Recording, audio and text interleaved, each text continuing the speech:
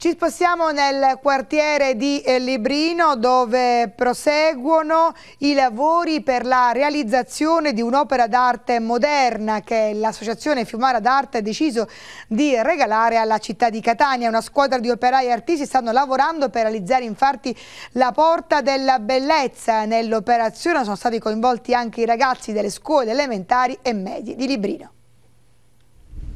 Prende forma piano piano, grazie al lavoro certosino di una squadra di operai che vi lavorano alacremente da più di un mese, la monumentale opera d'arte che sta sorgendo sull'asse attrezzato, la grande arteria viaria che taglia in due Librino. Il 15 maggio, giorno del suo battesimo, il muro che regge la struttura non sarà più solo cemento, diventerà invece una porta, la porta della bellezza, simbolo dell'apertura verso il futuro del quartiere che vuole scrollarsi di dosso lonta di essere definito satellite.